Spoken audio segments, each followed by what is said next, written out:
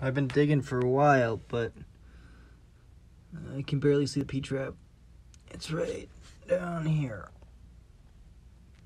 There's the top of it. I just gotta keep digging. So essentially where I'm at now is the P-trap fell off. Of course it's filled with water. And uh, this guy was never attached to anything. This was the guy that was up here. And he is like three, I guess, I guess two feet long. What the hell? it's gonna take a while. Okay, so essentially what I've done is I replaced the bad P-trap.